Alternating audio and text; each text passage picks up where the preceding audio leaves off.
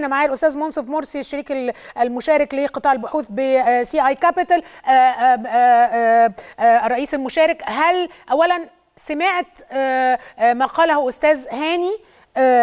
هل ترى إنه هذا سعر عادل للسهم مساء الخير. اولا آه سمعت طبعا الكلام اللي الاستاذ هاني قاله. آه والله أنا أعتقد بالنسبة للتقييم إحنا اللي شايفينه اللي هو السعر طبعا اللي اتعلن عليه اللي هو 19 جنيه للسهم هو طبعا ده سعر مبدئي آه وحضرتك عارفه إن هذه الصفقات يبقى فيها طبعا بروسيس طويلة. يعني إحنا بنتكلم إن طبعا الشركة حاليا المجموعة المالية دلوقتي بتعين أكيد مستشار مالي يعمل تقييم للشركة. ده أول خطوة. وبعد كده طبعا في خطوات أخرى زي ما أستاذ هاني قال اللي هو بالنسبة للموافقات سواء البنك المركزي سواء من ناحية الإمارات الرقابه المالية وهكذا. أعتقد إن إحنا النهارده لو بنتكلم على ال 19 جنيه إحنا شفنا آخر صفقة مثلا برضه شبيهة اللي هي برضه مجموعة أو تحالف الدار و ADQ لما استحوذوا على شركة سوديك كانوا أعلنوا في الأول عن سعر وبعد كده رجعوا بعد كده رفعوا السعر. فده بيحصل بيحصل بيحصل أو بيحدث في هذه الصفقات. فأعتقد إن هو ممكن بعد كده بعد بدايه ال process والفحص النافي للجهاله يبقى في تغيير بعد كده للسعر أكيد. آه بس هل حضرتك في تقييمك ده سعر عادل ولا ال ال ال هناك تقييمات أخرى بتوصل ل 23 و24 و25 و27 زي ما الأستاذ هاني بيقول يعني السهم already وصل 17.6 دلوقتي. مظبوط هو في طبعا تقييمات مختلفة من من البحوث والشركات المختلفة. طبعا لو اتكلمنا على CI Capital إحنا آخر تقرير أو تقييم نشرناه كان قيمة السهم اللي إحنا كنا حاطينه أو القيمة العادلة كانت 20 جنيه للسهم.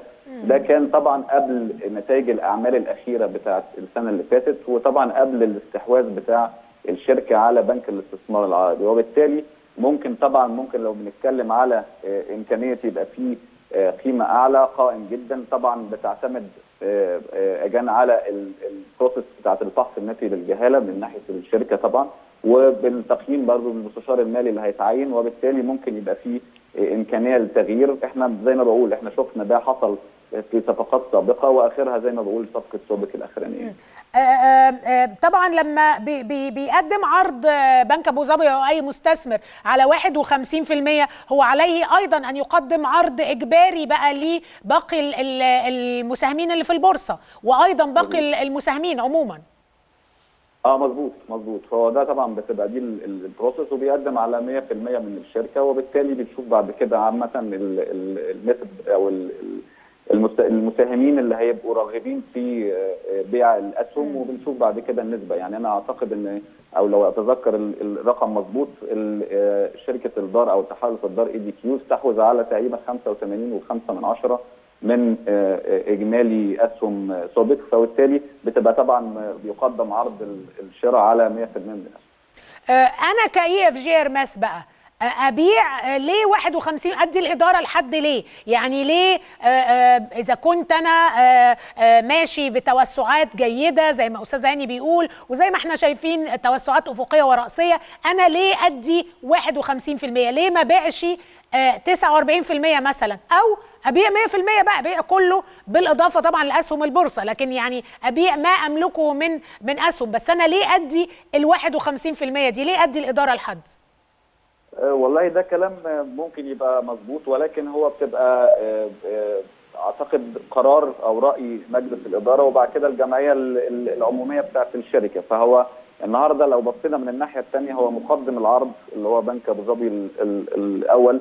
النهارده هو عايز يدخل أو هو أوريدي موجود طبعا في السوق المصري وعايز يتوسع أكثر في السوق المصري عايز ياخد حصة حاكمة في شركة تمتلك طبعا نشاطات مختلفة وتمتلك النهارده برضه بنك commercial bank لسه مستحوذ هو لسه عليه. مستحوذ على عودة مثلا على عودة في مصر آه. مظبوط. هو لسه مستحوذ على عودة وبالتالي بيستحوذ أو عايز يرغب في الاستحواذ على شركة أخرى.